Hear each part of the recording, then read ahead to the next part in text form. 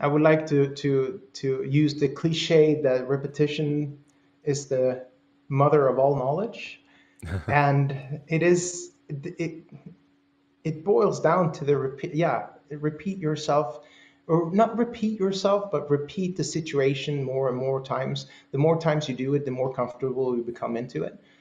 I mean, we are facing this. The pandemic is not going to disappear. corona is not going to disappear. It's going to be there. Mm. It's probably going to be the next regular flu.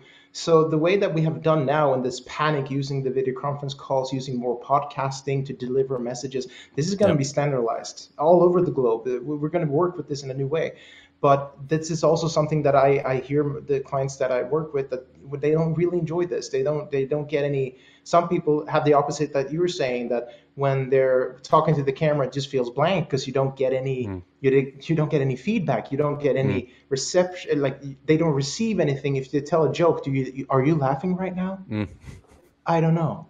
Okay, so they're they're uncertain of their their skill levels that they're using and have been using before. I've talked to a lot of professional speakers who feel that oh, I don't get anything from the ones I speak to. Well, you've had, if you tell the joke that you told 15,000 times before, I can guarantee you people will laugh. It's just that you don't get the physical laughter.